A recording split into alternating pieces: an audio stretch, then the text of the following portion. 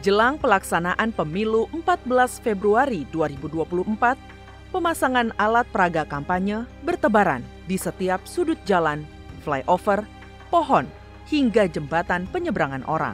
Komisi 2 DPR RI menegaskan Bawaslu harus menertibkan alat peraga kampanye yang pemasangannya tidak sesuai dengan peraturan Menumpuknya alat peraga kampanye yang terpasang di berbagai tempat sangat mengganggu visual dan keindahan kota, bahkan mengakibatkan kecelakaan pengendara bermotor.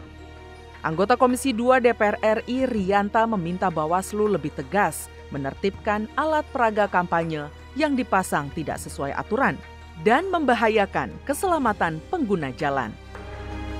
Tapi memang ada beberapa yang kalau saya melihat pemasangannya itu tidak beraturan. Ini menjadi tugas Bawaslu untuk bagaimana ini ditertibkan. Atau ada kesadaran dari pemasang alat-alat peraga itu untuk ditata sedemikian rupa sehingga tidak mengganggu kerapihan.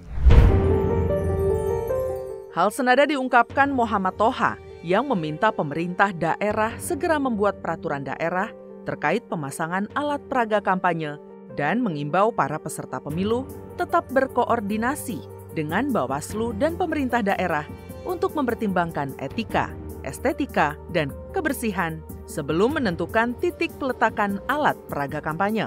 Jadi menurut saya memang harus ada anu semacam perda. Di beberapa tempat kabupaten kota itu kalau diberi perda itu taat. Karena kalau nggak taat pasti copot begitu kan.